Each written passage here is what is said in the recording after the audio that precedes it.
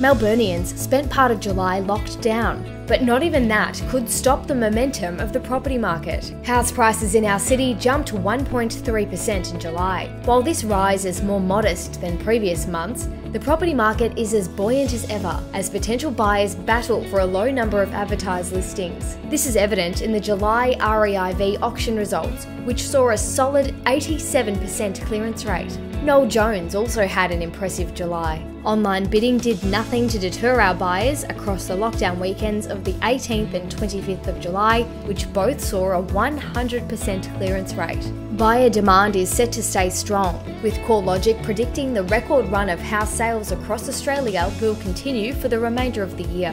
While housing affordability is a hot topic, the Reserve Bank's decision to keep our historically low interest rates on hold will boost buyers' confidence. Head to noeljones.com.au for more detailed information.